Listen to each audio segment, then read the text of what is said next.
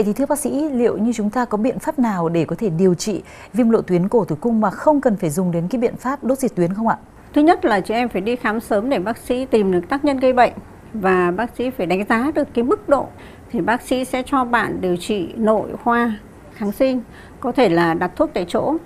và có một số trường hợp thì phải điều trị uống thuốc kháng sinh toàn thân và kết hợp cái thảo dược hỗ trợ có ho trinh nữ hoàng cung hoàng bá khổ sâm dây kim ninh và inmugama nó có tác dụng là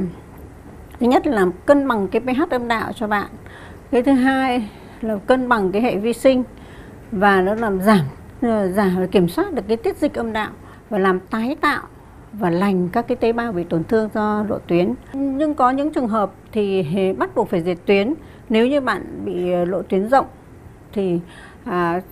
trước khi trước khi diệt tuyến thì bác sĩ sẽ điều trị chống viêm này, kháng sinh.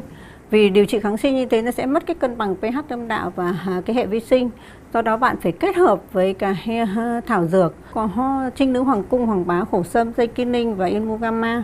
để cho nó cân bằng cái pH âm đạo để cho nó không bị tiêu diệt các cái vi khuẩn ừ, có lợi các bạn và nó tái tạo cái tế bào và lành cái tế bào tổn thương do diệt tuyến nhanh và nó sẽ khỏi hoàn toàn và không bị tái phát